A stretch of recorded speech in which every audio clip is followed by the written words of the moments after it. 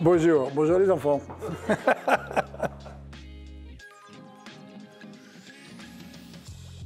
On a vu à travers les résultats boursiers phénoménaux, spectaculaires, que le, luxe de haut de gamme, les grandes marques, ont traversé la crise, euh, je dirais, en chantant. C'est pas très drôle, mais c'est vrai.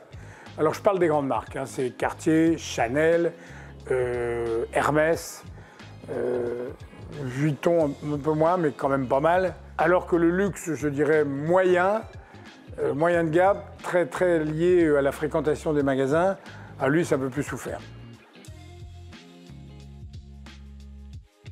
Pour ça, cette question, on me l'a posée souvent et ma réponse, ça sera toujours la même. Les enfants, il faut travailler. Ce genre de métiers sont des métiers extrêmement compétitifs, très créatifs. C'est ceux qui se battent qui gagnent. D'accord?